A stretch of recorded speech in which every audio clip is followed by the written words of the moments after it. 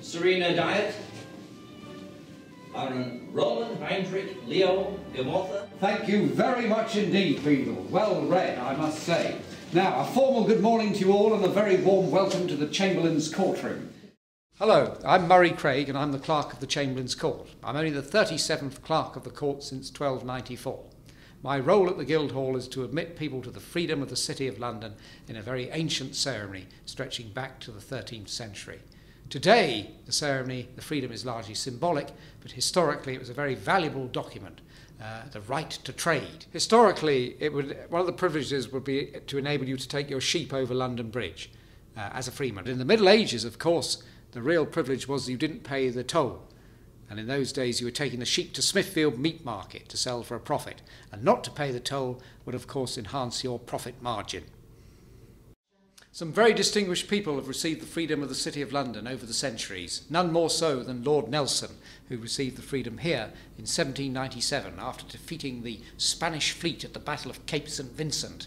You will note he received a splendid illuminated copy of freedom together with a gift of a gold box to the value of a hundred guineas. When Florence Nightingale was offered the freedom, she said, I don't want a gold box. That is far too ostentatious for a lady of my simple tastes. Will you instead send a cheque for a hundred guineas to my nursing charity at St Thomas's Hospital and just give me instead a plain, simple wooden box? So the corporation sent the cheque to St Thomas's Hospital and gave her this plain, simple wooden box, which, as you can see, isn't very plain or simple. The Angel of Mercy Crimea, Inkerman, Sevastopol, columns, soldiers, lions' heads, the coat of arms of the city, and Florence's initials in enamel. The Lord Mayor was tremendously infused by the magnificent performance of the British Olympic and Paralympic teams last year and wrote to several of the Olympic athletes offering them the freedom of the City of London, particularly those with a London connection, uh, a way of recognising their magnificent achievement in winning the mixture of bronze, silver and gold medals.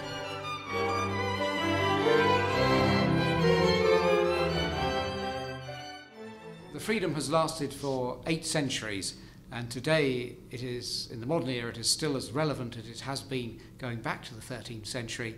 Uh, it's certainly now a tool for recognising achievements of people in certain fields, not just Olympians.